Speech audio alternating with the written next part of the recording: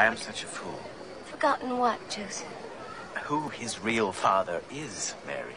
Jesus loves you as a son loves his father. He loves such a lowly man as I am. He has eaten your bread since he cut his first teeth. You held him up for his first steps. It was to you he gave his first smile. Me? Joseph? A simple carpenter. I taught the eternal on high to walk. You mean that, Mary? Yes, Joseph, I do. Did you hear how he answered all those learned men? He seemed to be teaching them.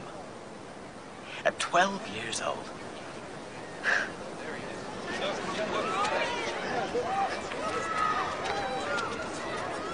Pardon me for keeping you waiting.